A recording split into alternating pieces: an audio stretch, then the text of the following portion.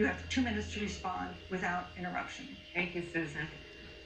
Well, the American people have witnessed what is the greatest failure of any presidential administration in the history of our country. And here are the facts 210,000 dead people in our country in just the last several months. Over 7 million people who have contracted this disease.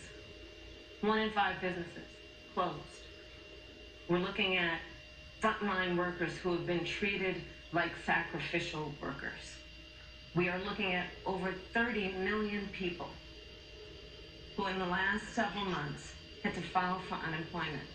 And here's the thing on January 28th, the vice president and the president were informed about the nature of this pandemic. They were informed that it's lethal in consequence, that it is airborne, that it will affect young people, and that it would be contracted because it is airborne.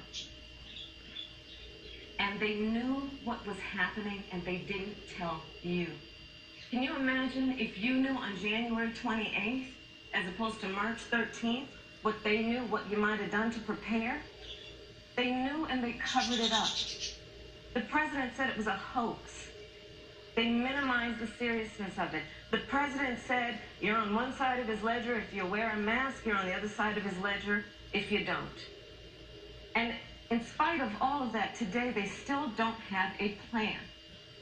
They still don't have a plan. Well, Joe Biden does.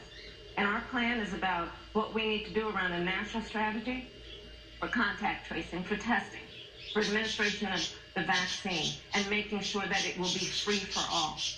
That is the plan that Joe Biden has and that I have, knowing that we have to get a hold of what has been going on and we need to save our country. And Joe Biden is the best leader to do that. And frankly, this administration has forfeited Thank you, their right to reelection based on this. Thank you, Senator Harris. Vice President Pence, more than 210,000 Americans have died of COVID 19 since February.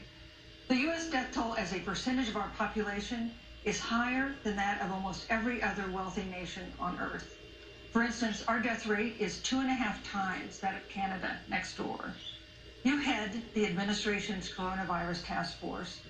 Why is the U.S. death toll as a percentage of our population